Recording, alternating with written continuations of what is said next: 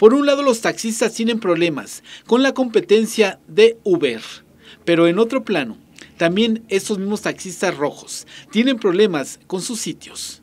En el caso, a la hora de levantar o bajar pasaje, hay lugares destinados para ellos. Sin embargo, otros sitios destinados para uso exclusivo de un servicio no se respeta. Llegan y ocupan ese lugar indebidamente no deben de hacer sitio los taxis, ¿eh? eso sí, eh, lo que es en la central, lo que es en las, eh, en las clínicas. yo quisiera también ahí hacer esta aclaración, si van a llevar algún paciente, si van a apoyar a algún paciente, también somos conscientes en ese aspecto.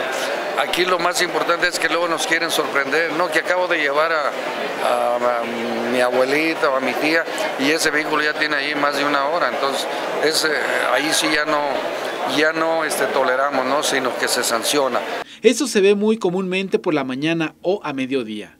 En el caso de las clínicas y hospitales, los taxis saben de la oportunidad de subir pasajeros, pero a veces se quedan allí parados hasta no levantar a una persona como consecuencia, esto motiva una infracción muy significativa. ¿Cuánto es la sanción o la multa por estacionarse? Es del grupo 3 y es de 730 pesos, chico.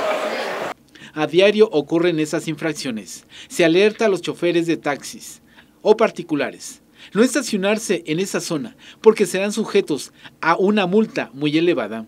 De preferencia, estacionar la unidad fuera de esa zona y evitarse problemas con imágenes de Edgar Vázquez para mi ciudad, Jesús Peralta Medina.